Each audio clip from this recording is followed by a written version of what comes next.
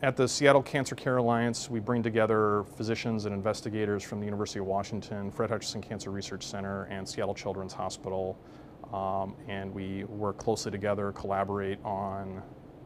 primarily coming up with important research questions that we can then take forward to improve caring for patients not only at our center, but ideally across the country and across the world. And I think for a disease like acute lymphoblastic leukemia that's so much more common in children, uh, there may not be a better example in our system where we really, all three of those different institutions really work together to try to improve the treatment. The title, roughly, is looking at the time that patients take to become minimal residual disease negative in the course of receiving a chemotherapy regimen called hyper-CVAD for acute lymphoblastic leukemia. We've known for several years that that's a very important uh, factor to determine which patients are going to do well and which patients are not likely to do so well.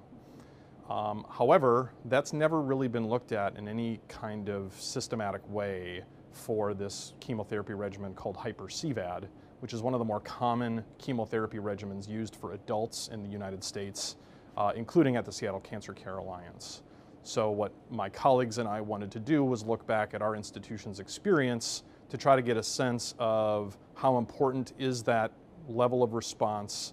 not only how deep they get, but also the time at which it occurs to see if that can help us determine which patients are going to be at greatest risk of a recurrence or relapse versus those that are at lower risk of relapse. It's widely known in the ALL community that this is a really important uh, tool to use. Furthermore, there's uh, a lot of excitement about newer tools that are being developed that can detect very, very small amounts of leukemia that may prove to be even more important. Um, so because the hyper-CVAD regimen is used so commonly, but investigators hadn't really looked at this specific question before, um, our hope is that it will provide some useful information not only for us as clinical researchers thinking about how, how we can use this potentially to guide what kind of studies we would do in the future, but also as physicians counseling our patients that are receiving this regimen, if we see this kind of response at this certain time point, that might suggest there's a pretty good chance that a patient's going to stay in remission long term versus those that are maybe not so likely to stay in remission. Those might be the patients best served by being referred for a stem cell transplant while they're in remission we took a slightly different approach based on how our patients uh, at the Seattle Cancer Care Alliance were monitored um, to really kind of get a sense over a, over a period of times. Um, so I think um, these data are going to prove to be fairly useful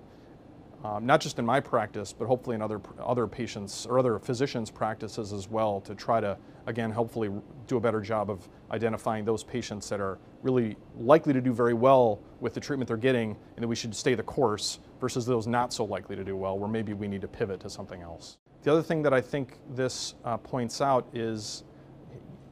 um, actually looking for that very early response fairly early in the course of treatment I think is important.